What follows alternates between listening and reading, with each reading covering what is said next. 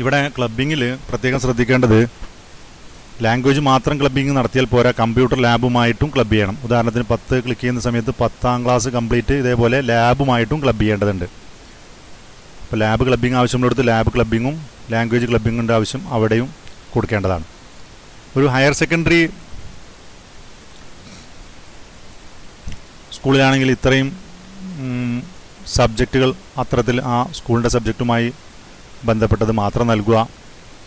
Then class wise സബ്ജക്റ്റിൽ S one മുപ്പത്തെട്ട് period ഉണ്ടെങ്കിലും പരമാവധി മുപ്പത്തിനാല് ക്ലാസ്സുകളാണ് നമുക്കുള്ളത്. ഇവിടെ സെറ്റ് ചെയ്തുള്ളത് നോക്കുക. പീരിയഡ്സ് എന്നതിൽ പോയി കഴിഞ്ഞാൽ ഇവിടെ വ്യാഴം വരെ ഏഴ് ദിവസവും വെള്ളിയാഴ്ച ആറ് ദിവസവുമാണ് ഇവിടെ പ്രവൃത്തി ആയി പ്രവർത്തന ദിവസമായി നൽകിയിട്ടുള്ളത്. ഇത്തരത്തിൽ നമുക്ക് ദിവസങ്ങളിൽ വ്യത്യസ്ത പ്രവൃത്തി ദിനങ്ങൾ നൽകാം. അതേസമയത്തിന് ക്ലാസ് ചാർജ് പീരീഡ് എന്ന് പറഞ്ഞിട്ട് ഇവിടെ ഒന്ന് എന്ന് നൽകിയിട്ടുണ്ട്. ക്ലാസ് ചാർജിന്റെ പീരീഡ് ഒന്ന് തന്നെ നൽകണമെന്നില്ല. വ്യത്യസ്ത പീരീഡുകൾ ഇവിടെ ക്ലിക്ക് ചെയ്തുകൊണ്ട് നമുക്ക് മാറ്റാവുന്നതാണ്. ഡിവിഷൻസ് ടീച്ചേഴ്സ് ആ രൂപത്തിൽ ക്ലബിങ്ങും നൽകാവുന്നതാണ്. ഇനി ഇതിന്റെ സോഫ്റ്റ്വെയർ അസൈൻ ചെയ്യുക. ടൈം ടേബിൾ എന്നതിൽ ടൈം ടേബിൾ ക്രിയേറ്റ് ചെയ്യുന്നതിന്റെ മുമ്പ് അസൈൻ ക്ലാസ് എന്ന ഒരു ഓപ്ഷൻ നമുക്കിവിടെ ഉപയോഗിക്കാൻ കഴിയും. ഇത് ഉദ്ദേശിക്കുന്നത് ഏതെങ്കിലും ഒരു പ്രത്യേക ടീച്ചർക്ക് ഒരു പ്രത്യേക ക്ലാസ് അസൈൻ ചെയ്യണമെങ്കിൽ നമുക്കിതിവിടെ ഉപയോഗപ്പെടുത്താം.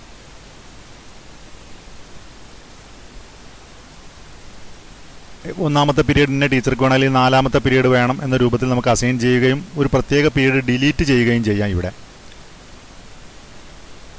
ദെൻ ക്രിയേറ്റ് ടൈം ടേബിൾ എന്ന ഓപ്ഷനാണ് പിന്നീട് എടുക്കേണ്ടത്. ഇവിടെ നമ്മൾ ആകെ കൊടുത്ത പീരീഡിൽ കിട്ടാൻ ഇവിടെ റിപ്പോർട്ട്സിൽ പോയി കഴിഞ്ഞാൽ പെൻഡിങ് എന്ന ഓപ്ഷൻ എടുത്ത് ഷോ ആൾ കൊടുത്തു കഴിഞ്ഞാൽ നമുക്ക് നിലവിൽ എത്ര പീരീഡാണ് രണ്ടായിരത്തി മുന്നൂറ്റി നാൽപ്പത്തി മൂന്ന് പീരീഡാണ് ഇവിടെ ആകെ ഉള്ളത്. ഇത് നേരത്തെ ടൈം ടേബിൾ ചെയ്ത ഒരു സംഗതിയാണുള്ളത് ഇവിടെ. അത് നമ്മൾ ജസ്റ്റ് ഷോ എടുത്തു കഴിഞ്ഞാൽ നമുക്ക് മൊത്തം ടൈം ടേബിളുകൾ ഇവിടെ കാണാം. അതുപോലെ ഓരോ റിപ്പോർട്ട്സിൽ പോയി കഴിഞ്ഞാൽ ടീച്ചർ ടൈം ടേബിൾ എടുത്ത് ഷോ ചെയ്ത് കഴിഞ്ഞാൽ ഒരു ടീച്ചറുടെ ടൈം ടേബിൾ നമുക്ക് കാണാം. അതുപോലെ റിപ്പോർട്ട്സിൽ ക്ലാസ് ടൈം ടേബിൾ എടുത്തു കഴിഞ്ഞാൽ ഓരോ ക്ലാസ്സിന്റെയും ടൈം ടേബിൾ നമുക്കിവിടെ കാണാം. ഇതേ സമയത്ത് തന്നെ ഈ ക്ലാസ് ക്ലബിംഗ് ഉണ്ടെങ്കിൽ ക്ലിക്ക് ചെയ്ത് കഴിഞ്ഞാൽ ഷോ ചെയ്ത് കഴിഞ്ഞാൽ ഇത്രയും പീരീഡുകൾ ഇവിടെ ക്ലബിംഗ് ആണെന്ന് നമുക്ക് മനസ്സിലാവും. അത് ഏത് ടീച്ചറാണെന്ന് അറിയാൻ ഷോ ക്ലിക്ക് ചെയ്ത് കഴിഞ്ഞാൽ ആ ടീച്ചറെ നമുക്കിവിടെ കിട്ടും. അതുപോലെ തന്നെ ഇപ്പോൾ ഇവിടെ വിഷയങ്ങൾ കാണുന്നതിന് പകരം ഏത് ടീച്ചറാണെന്ന് അറിയാൻ ജസ്റ്റ് ക്ലിക്ക് ചെയ്ത് കഴിഞ്ഞാൽ ആ ടീച്ചേഴ്സിന്റെ പേര് വരും. അതുപോലെ ടീച്ചർ ടൈം ടേബിളിൽ ക്ലിക്ക് ചെയ്ത് കഴിഞ്ഞാൽ ടീച്ചറിന്റെ ടൈം ടേബിൾ വരും. അതേ സമയത്ത് സബ്ജക്റ്റ് ക്ലിക്ക് ചെയ്ത് കഴിഞ്ഞാൽ അവിടെ എടുക്കുന്ന സബ്ജക്റ്റാണ് ആ സമയത്ത് വരിക. രണ്ടും ഒരുമിച്ചും കാണാനുള്ള ഓപ്ഷൻ ഇവിടെ ഉണ്ട്. ഇനി എങ്ങനെ ടൈം ടേബിൾ ക്രിയേറ്റ് ചെയ്യാം? ഇവിടെ ഷോ ക്ലിക്ക് ചെയ്താൽ ഫുൾ ടൈം ടേബിളാണ് കാണുന്നത്. ഇത് നമുക്ക് ഡിലീറ്റ് ചെയ്ത് പുതിയ ഒരു ടൈം ടേബിൾ എങ്ങനെ ക്രിയേറ്റ് ചെയ്യാൻ നോക്കാം. ഇതിനു വേണ്ടി ഡിലീറ്റ് ഫുൾ എന്ന് ക്ലിക്ക് ചെയ്ത് കഴിഞ്ഞാൽ ഈ മുഴുവൻ ടൈം ടേബിളുമായി ബന്ധപ്പെട്ട് ഡിലീറ്റ് ആവും. ഡിലീറ്റ് ടീച്ചർ എന്ന് കൊടുത്തു കഴിഞ്ഞാൽ ടീച്ചേഴ്സിന്റെ പീരീഡ് മാത്രമേ ഡിലീറ്റ് ആവുള്ളൂ. പീരീഡ് ഡിലീറ്റ് ആവില്ല. ഓക്കെ അപ്പോൾ എല്ലാ ഒരിക്കൽ നിങ്ങൾ ബ്ലാങ്ക് ടേബിൾ ക്രിയേറ്റ് ചെയ്ത് കഴിഞ്ഞാൽ പിന്നീട് ഡിലീറ്റ് ഫുൾ ചെയ്യേണ്ട ആവശ്യമില്ല. ഞാൻ തൽക്കാലം ഡിലീറ്റ് ഫുൾ ക്ലിക്ക് ചെയ്യുകയാണ്. എല്ലാ പീരീഡും ഇവിടെ ഡിലീറ്റ് ആയിട്ടുണ്ട്. നിങ്ങളെ സംബന്ധിച്ച് ഇവിടെ ആദ്യമായി ചെയ്യുന്നവർക്ക് ഇവിടെ ഒന്നും ഉണ്ടാവില്ല. ഷോ ക്ലിക്ക് ചെയ്ത് കഴിഞ്ഞാൽ ഇതേപോലെ ഒന്നും കാണില്ല. നമ്മൾ ബ്ലാങ്ക് ടേബിൾ ക്ലിക്ക് ചെയ്ത് കഴിഞ്ഞാൽ ഒരു ബ്ലാങ്ക് ടേബിൾ ക്ലിക്ക് ആവും തുട ഉണ്ടാവുന്നത് നമുക്ക് കാണാം. നോക്കൂ ഇവിടെ മൂന്ന് മിനിറ്റ് സമയം എടുത്തിട്ടാണ് ബ്ലാങ്ക് ടേബിൾ ക്രിയേറ്റ് ചെയ്തിട്ടുള്ളത്. ബ്ലാങ്ക് ടേബിൾ ക്രിയേറ്റഡ് എന്നൊരു മെസ്സേജ് വന്നു. ഓക്കെ ക്ലിക്ക് ചെയ്യാം. ഇത് ചെയ്യാനെടുക്കുന്ന സമയം എത്ര ഡിവിഷനുണ്ട് ഇവിടെ അറുപത് ഡിവിഷനുള്ള ഒരു ക്ലാസ്സാണ് ഒരു സ്കൂളാണ് അപ്പോൾ അറുപത് ഡിവിഷന് പരമാവധി മൂന്ന് മിനിറ്റ് സമയമാണ് ബ്ലാങ്ക് ടേബിൾ ക്രിയേറ്റ് ചെയ്യാൻ എടുത്തത് ജസ്റ്റ് ഷോ ക്ലിക്ക് ചെയ്ത് കഴിഞ്ഞാൽ നമുക്ക് ഈ ടേബിൾ ഇവിടെ ക്രിയേറ്റ് ചെയ്തത് കാണാം.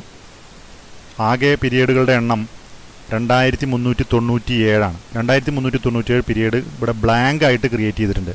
നമുക്ക് ജസ്റ്റ് റിപ്പോർട്ടിൽ ക്ലാസ് ടൈമിൽ പോയാൽ അഞ്ച് എ ക്ലാസ് എടുത്ത് ഷോ ക്ലിക്ക് ചെയ്ത് കഴിഞ്ഞാൽ ഇതുപോലെ ബ്ലാങ്ക് ആയിട്ട് ഒരു വര വന്നിട്ടുണ്ട്. അതായത് ടേബിൾ ക്രിയേറ്റ് ചെയ്തിട്ടുണ്ടെന്ന് മനസ്സിലാക്കാം. ഇനി ഇതിന്റെ രണ്ടാമത്തെ സ്റ്റെപ്പ് എന്ന് പറയുന്നത് ക്ലാസ് ചാർജ് നൽകുക എന്നതാണ്. ഇനി ഇതിന് തൊട്ട് മുമ്പ് വേണമെങ്കിൽ നമുക്ക് ഈ ടൈം ടേബിൾ അസൈൻ ചെയ്യുക എന്ന ഓപ്ഷൻ വെച്ച് നമുക്ക് ടൈം ടേബിൾ അസൈൻ ചെയ്യാവുന്നതാണ്. അതിനുവേണ്ടി ഞാൻ ജസ്റ്റ് അസൈൻ ക്ലിക്ക് ചെയ്യുന്നു. ഒന്ന് രണ്ട് ഐ ടി ലാബുകൾ ഐ ടി ലാബിന്റെ പീരീഡുകൾ ഞാൻ ഇത് അസൈൻ വഴി നൽകുകയാണ്. ഐ ടി പ്രാക്ടിക്കൽ പീരീഡ് മൺഡേയിൽ ലാസ്റ്റ് പീരീഡ് ഏഴാമത്തെ പീരീഡ് ഐ ടി പ്രാക്ടിക്കൽ കിട്ടണം എന്ന രൂപത്തിലാണ് ഇവിടെ നൽകിയിട്ടുള്ളത്. ഓക്കെ ക്ലിക്ക് ചെയ്ത് കഴിഞ്ഞാൽ രണ്ട് പീരീഡ് ആറും ഏഴും ഒരുമിച്ച് വരാനുണ്ടായ കാരണം ഇത് രണ്ട് പീരീഡ് അടുപ്പിച്ചാണ് കണ്ടിന്യൂസ് ആണ്. അപ്പോൾ നമ്മളവിടെ ടൈം പീരീഡ് സെറ്റ് ചെയ്യുന്ന സമയത്ത് പീരീഡുകൾ കണ്ടിന്യൂസ് ആണോ എന്ന് ചോദിക്കുന്നിടത്ത് രണ്ടാണെങ്കിൽ രണ്ട് അവിടെ കൊടുക്കേണ്ടതാണ്. ഇനി മറ്റൊരു ഡിവിഷൻ സി എന്ന ഡിവിഷനിലും വെനസ്ഡേയിൽ ഏഴാമത്തെ പീരീഡ് സേവ് ചെയ്യാം. അപ്പോൾ ഇങ്ങനെ രണ്ട് ക്ലബിംഗ് നൽകി. മറ്റൊരു ക്ലാസ്സിനും കൂടെ ഒരു ക്ലബിംഗ് നൽകുകയാണ്. കിട്ടി പ്രാക്ടിക്കൽ ട്യൂസ്ഡേ ഏഴാമത്തെ പീരീഡ് നൽകി സേവ് ചെയ്യുന്നു. ഇപ്പോൾ നമ്മൾ പത്ത് എ ബി സി എന്ന മൂന്ന് ക്ലാസ്സുകൾക്ക് ഐ ടി ലാബിന്റെ പീരീഡുകൾ അസൈൻ ചെയ്ത് കഴിഞ്ഞു. അത് നമുക്കിവിടെ റിപ്പോർട്ട്സിൽ പോയി കഴിഞ്ഞാൽ ക്ലാസ് ടൈം ടേബിളിൽ പോയാൽ കാണാവുന്നതാണ്. പത്ത് എ ഷോ ക്ലിക്ക് ചെയ്യുന്ന സമയത്ത് അവസാനത്തെ ആറ് ഏഴ് പീരീഡുകളിൽ ഐ ടി ലാബ് വന്നിട്ടുണ്ട്. ഞാൻ നൽകാൻ ഉദ്ദേശിച്ചത് ഏഴും എട്ടുമാണ് അത് അങ്ങനെയാണെങ്കിൽ ആറ് ഏഴ് എങ്ങനെ ഡിലീറ്റ് ചെയ്യാമെന്ന് കൂടി നമുക്ക് നോക്കാം. ഇത് ഏഴ് എട്ട് കറക്റ്റായി വന്നിട്ടുണ്ട്. സി ഏഴ് എട്ട്. അപ്പോൾ പത്ത് എയിലുള്ള ആറ് ഏഴ് എന്ന് നൽകിയത് നമുക്ക് ഡിലീറ്റ് ചെയ്യുകയും ചെയ്യാം. ഇതേപോലെ തന്നെ പത്ത് പത്ത് എ ഐ ടി പ്രാക്ടിക്കൽ എന്ന് തന്നെ സെലക്ട് ചെയ്യണം. മൺഡേ.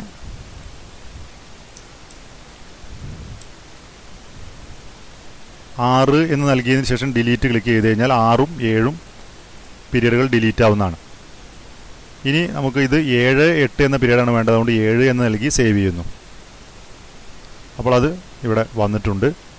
ഇത്തരത്തിൽ നമുക്ക് പീരീഡുകൾ മുൻകൂട്ടി അസൈൻ ചെയ്യാൻ കഴിയും. ഇതിന് ശേഷം നമ്മൾ ചെയ്യേണ്ടത് ക്ലാസ് ചാർജാണ് അപ്പോൾ അസൈൻ ചെയ്യാനുള്ള പീരീഡുകൾ അസൈൻ ചെയ്തതിന് ശേഷം ക്ലാസ് ചാർജ് ക്ലിക്ക് ചെയ്യുക. അപ്പോൾ എല്ലാ ക്ലാസ്സിനുള്ള ക്ലാസ് ചാർജ് വരുന്നതാണ്.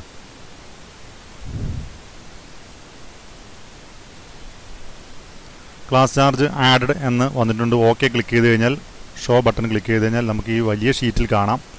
അതല്ലെങ്കിൽ ക്ലാസ് ചാർജ് ആഡ് ചെയ്തിട്ടുണ്ടോ എന്ന് നോക്കാൻ വേണ്ടി ക്ലാസ് ടൈം ടേബിൾ പോയി ഓരോ ഓരോ ക്ലാസ്സും പരിശോധിക്കുന്നതാണ് എപ്പോഴും നല്ലത്.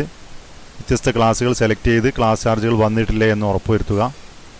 ഇവിടെ ഇപ്പോൾ അഞ്ച് ഡി ക്ലാസ്സിൽ ഇംഗ്ലീഷ് ഇന്റെ പീരീഡ് ആറ് പീരീഡ് ഉണ്ടായതുകൊണ്ടാണ് ഇവിടെ അഞ്ച് പീരീഡുകൾ ഇവിടെ വന്നിട്ടുണ്ട് ഒന്നാമത്തെ പീരീഡ്. പിന്നീടൊരു അധിക പീരീഡ് വന്നിട്ടുള്ളത് അടുത്തൊരു ദിവസം നൽകിയിട്ടുണ്ട്.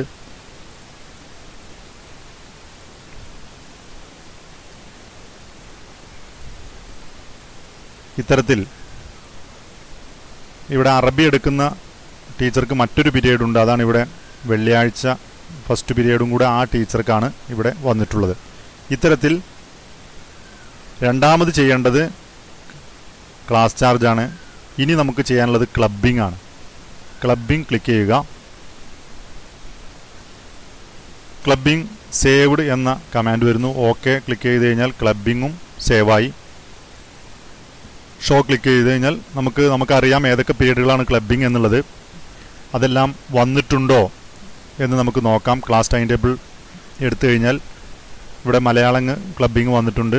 ക്ലബിംഗ് എത്തിയിട്ടുണ്ടോ എന്ന് ജസ്റ്റ് ക്ലബിംഗ് ക്ലിക്ക് ചെയ്ത് കഴിഞ്ഞാൽ ആ പീരീഡ് നമുക്കിവിടെ കാണാൻ കഴിയും. അതുപോലെ ഐ ടി ലാബുമായി ബന്ധപ്പെട്ട് പീരീഡുകളെല്ലാം വന്നിട്ടുണ്ട്. ക്ലബിംഗ് കൊടുത്തു കഴിഞ്ഞാൽ ഏത് ടീച്ചർക്കാണ് ആ പീരീഡ് അവിടെ എന്നുള്ളത് കൃത്യമായിട്ട് അവിടെ വരും.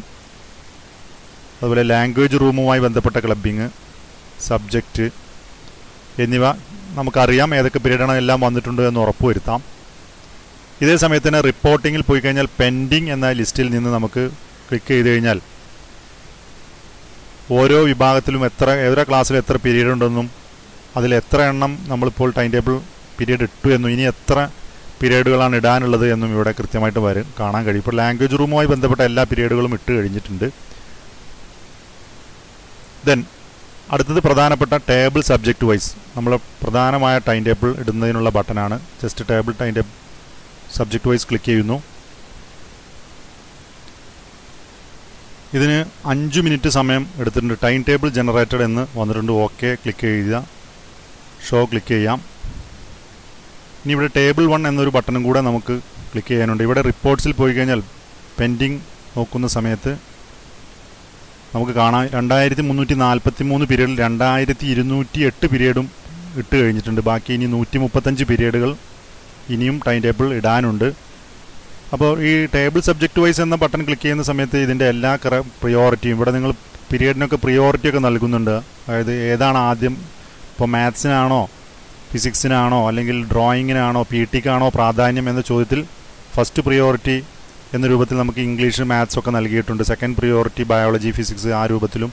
തേർഡ് പ്രിയോറിറ്റിയിൽ നമ്മൾ ഐ ടി തിയറി അല്ലെങ്കിൽ പി ടി ഡ്രോയിങ് അങ്ങനെ വളരെ എളുപ്പമുള്ള സിമ്പിളായിട്ടുള്ള വിഷയങ്ങൾ. അങ്ങനെയൊക്കെ ആ നമുക്ക് ആ പീരീഡ് സെറ്റ് ചെയ്യുന്ന സ്ഥലങ്ങളിൽ സെറ്റ് ചെയ്യാം. അപ്പോൾ ഇപ്പോൾ നമ്മുടെ പെൻഡിങ് പീരീഡുകൾ നൂറ്റി മുപ്പത്തഞ്ച് വരെയാണുള്ളത്. ഇവിടെ നമുക്ക് ടേബിൾ വൺ എന്ന ഒരു ബട്ടണും കൂടെ ഉണ്ട്. അതും കൂടെ ക്ലിക്ക് ചെയ്യാം. ടേബിൾ വൺ എന്ന ബട്ടൺ പരമാവധി കുറച്ച് പീരീഡ് കൊണ്ടേയും ഇട്ടിട്ടുണ്ടാവുമെന്ന് നമുക്ക് പ്രതീക്ഷിക്കാം. നേരത്തെ നൂറ്റി മുപ്പത്തഞ്ച് ഉണ്ടായിരുന്നത് ക്ലിക്ക് ചെയ്യുന്ന സമയത്ത് നൂറ്റി ഇരുപത്തി മൂന്ന് കുറച്ച് പീരീഡ് കൂടെ അതിൽ വന്നിട്ടുണ്ട്. ഇനി ബാക്കിയുള്ള പീരീഡുകൾ എങ്ങനെ നൽകാം? അതിനുവേണ്ടി നമ്മൾ ക്ലാസ് ഫില്ലിംഗ് എന്ന ഈ ഓപ്ഷൻ ഉപയോഗിച്ചിട്ടാണ് ബാക്കി പീരീഡുകൾ നമ്മൾ ഫില്ല് ചെയ്യാൻ പോകുന്നത്. എങ്ങനെയാണെന്ന് നോക്കാം.